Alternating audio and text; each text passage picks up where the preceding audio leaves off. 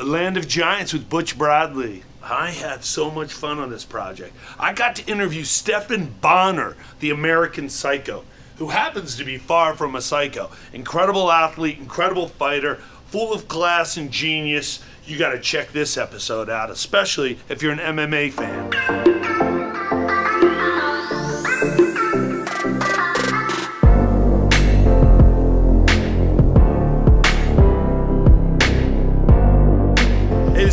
Bradley in the land of giants. Where am I? I'm at the White Wolf, right? Silver Wolf. The Silver Wolf. We're gonna redo it. We're gonna redo it. Hey, this is this is Butch Bradley. I'm at the Silver Wolf in Las Vegas with legendary fighter Stephan Bonnar, uh, and we're shooting another episode of In the Land of Giants. Really excited to be here. Uh, so you were just saying you started in wrestling? I mean, when I was a kid, we didn't have uh, the UFC, so I started Pee Wee wrestling when I was like 10 years old and started doing Taekwondo when I was 12, and I did those through high school. April 9th, 2005, changed fighting as the world knows it. UFC, you fought Forrest Griffin. Do you even know that date, or was it another fight when you stepped into that ring? No, I I knew like that whole season. I knew it was something special. I knew I don't know. Everyone's always full of shit, but I swear, like I knew deep. It was no surprise to me, and I knew the fight would be epic, and I was gonna make sure it was. That was my plan, and and I don't. It just yeah, it was no surprise. Honestly, it was no surprise. It was a surprise to me to hear that they were almost threw in the towel and they were 62 million in the hole and they were about to fold. Wow. Because to me, it was like, oh, this show's gonna be the That's what we thought. show, I think everybody watching thought that, but that moment just changed it. Here's something interesting I always wonder. Like, you enter a ring, it's just you versus one person. You know, do you let the whole world go? Are you are you a predator? Are you hunting that dude? Are you like or is Yeah, it I'm just lost. We're just in a dance. It's not like really personal. It's more fun and playful than anything. But you know, it's it's you're just you're just fighting with everything you got, and it's I don't know. It's fun. It's it just it, it, it just there's nothing. It, you just get lost in a totally different universe. Like Randy says, I love his great line. It's the most fun you could have without going to jail oh, because it's like you can't do that anywhere without going to jail. you right, you can't and you, you know, I, it's weird how society separates it. Like the the beauty of it is the freedom. Like that's what I always loved. Like growing up doing the taekwondo, oh you were limited by rules. Doing the wrestling, you were limited by rules. Doing the jiu-jitsu, you were limited by rules. Doing the boxing, you were limited by rules. So I did all four of those, competed in them, and it was just oh the ultimate fantasy when I saw the oh my god, you can just do whatever you want. And, and I just instantly fell in love. right, right, and you right once. When the do you remember the first fight you had when the in the octagon? Do you like do you hear the gate close behind you? Do you feel like a sense of that for you? Obviously, you just said the gate locks. You're free. Yeah, before the um, Ultimate Fighter, I, I only had fought in a ring. I think I had like seven fights before then, and they were all in rings. And I had like a good amateur boxing career too, won the Chicago Golden Gloves a few times.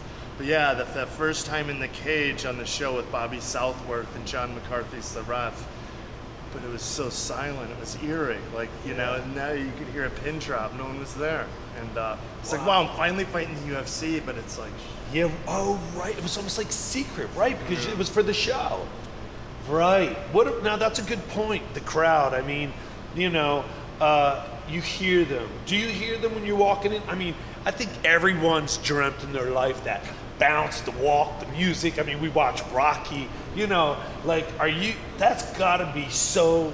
I have goosebumps. That must be the sickest, most incredible feeling ever. Marching in, or is it nothing like we imagine? It is. It's like sensory overload. It's like just so in your Right. like ah, like all that energy and uh, yeah, and you kind of and you get in the cage and there's all these cameras and people and commission and it's crowded and and it's a little overwhelming. Finally, it clears out and it's like ah. Finally, I'm just locked in the cage with him, and you kind of get this peace, this wave of peace coming over you. I love the one that you, you know that's beautiful that you think that. But the idea of me being locked in, as much as I love fighting, like I, I did kickboxing as a kid, I loved it, and you know we had Well, like a, you know I love it. But he locked in with you in a cage, I would not have a sense of peace. I would feel better if like I fell off a boat and there was blood and chum and sharks. I was like maybe I have a chance. The worst part about about it is all the anticipation when that's finally over, Right. And, and everyone leaves and they put the pin in the door. You're like, it's all the all the waiting for it. That's the worst part. It's finally over, and that's what gives you the peace. That's be- right, right. So that's that brings us here. Your club's gorgeous. It's really cool. And uh, so, is this that same world, or do you seek that octagon No. locking? You know, That's pretty serious and rough, you know. I, I love the just the visual of you going in there and you, you want to get your feet wet, and you put a little water down your coach, and there's just pools of blood all over, and you're like, you know, and Right. it hits you like, God, what am I doing? You know, where did I, Yeah, where yeah, did yeah. I go wrong? and it's just it's so funny how you see- it in this. uh, you know, it's beautiful. You love it. What about now? What's where, where are your plans now? Because you know you're in it. You love it. You're training. You're gonna make some future killers. But No, it's fighting? more. It's more just have fun. It, it did suck. Like after you've been doing the, the fighting thing, it's so much fun. Like those first ten years, but then when you hit your peak and you're just trying to maintain, and your reactions are going, and it's just more and more painful getting out of bed, and you're just like those last couple years. It isn't as much fun, and you forget like why you did it in the first place and why you loved it. And that's what I'm bringing here. I want people just come here and have fun more than anything. yeah, yeah, yeah, Not so serious and oh come on push it suck it up get the bucket out he's throwing up like no oh you're tired really rest you know you're, getting a little little by little step by step Right, you know? right, right. Fuck. Well, that you know, and it's funny. The guys that like me, I had a crazy little sensei Malcolm Perkins, and it was fun. It was cool. It was crazy, but it was fun. Not crazy like you're crazy, but you know.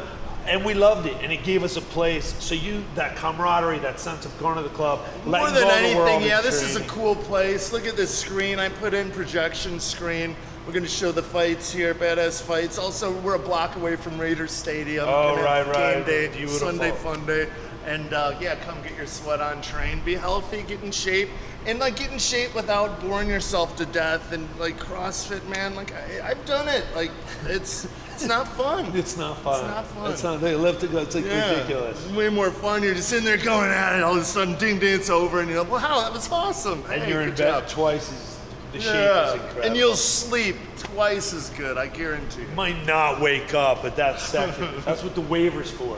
Well, yeah, it sleeps when you heal yourself. Yeah, yeah.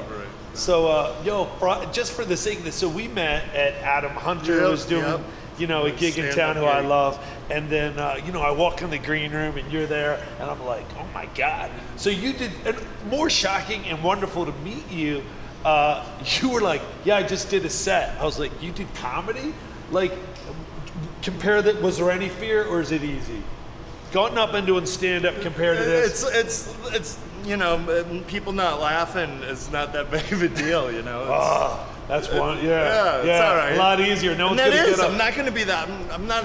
I don't have my expectations set too high. So Yeah, yeah, like yeah. I went out there. I took some jokes. No one laughed. No well. And then a couple people laughed. Okay. Yeah, yeah, It'll, yeah. it'll come along. And then I talk to everyone like you. Says, oh yeah, give, give it ten years. You'll Yeah, get yeah, the yeah, you know. yeah. So it's like I know. I mean, I'm I'm in no hurry. Yeah, you're in a new dojo, right? Yeah. So Friday, Friday you're gigging, and, and you just told me you have a spot. Is it? it it's in your mind, right? Oh yeah. You know, Like, we I'm love- Like, what am I gonna like? Friday, it's three days away. What's funny? Like, what, what, did, what did I do? I just watched the, the Leaving Neverland. And what am I gonna crack jokes about pedophile stuff? Right. And like, but I, I You got could, you could. I, got, I got a pretty. You got to be good good one. for those. Like, like, yeah. All right. This is my one about that. It's like, okay.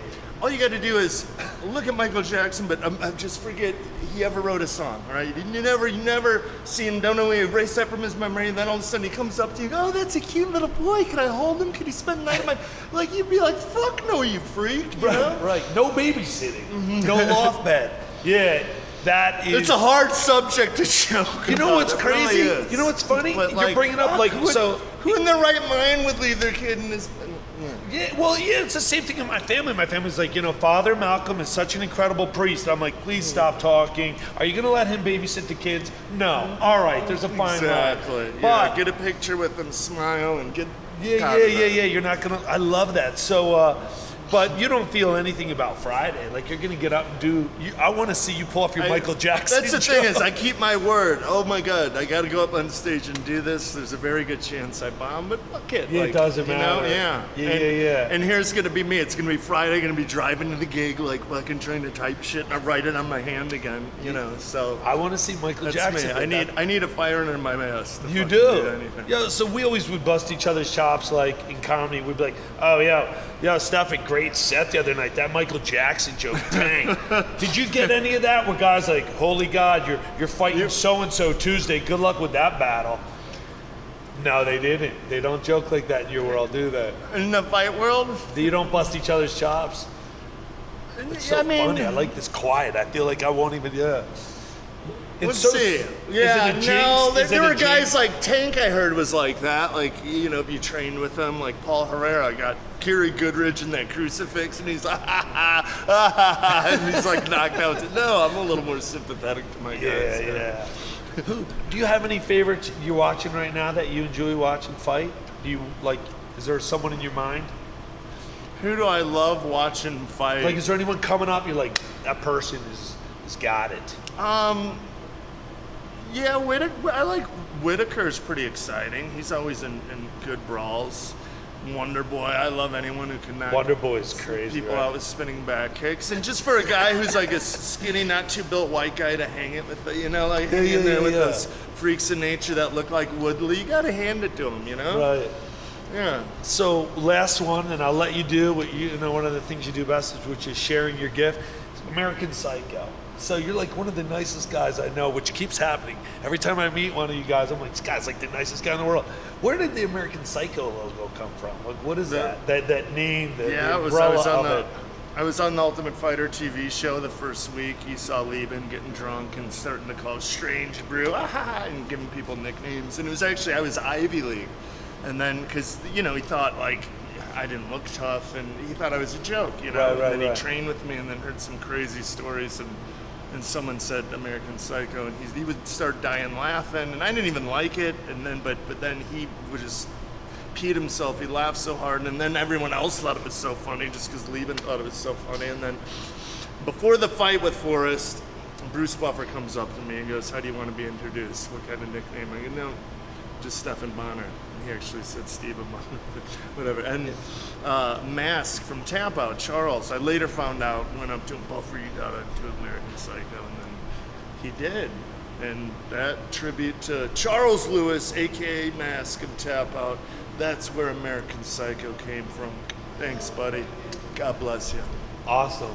Pleasure talking to you. I'm going to let you do your thing. Thank you so much. Stephan Bonnar, American Psycho, has a comedy gig this week. Thanks, brother. In the land of giants.